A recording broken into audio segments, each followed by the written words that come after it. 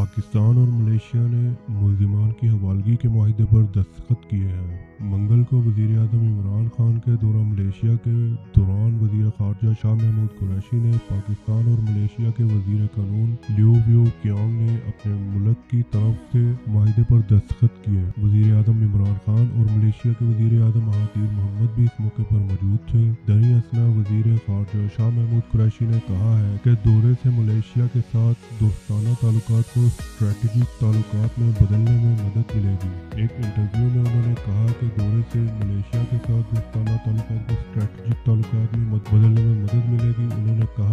Malaysia کے ساتھ تجارت اور دفاع کے شعبوں میں تعاون بڑھانے پر بات ہوئی۔